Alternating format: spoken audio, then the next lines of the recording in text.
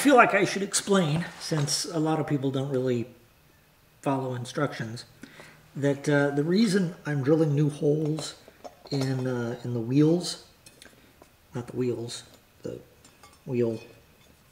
What do you call this? Axle? This is the axle. What is this thing?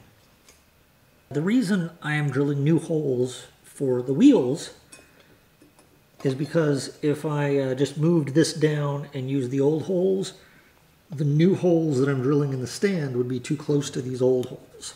And the reason I didn't move them over even farther is because there are some brackets inside here that help uh, support these these legs that share the bolt with.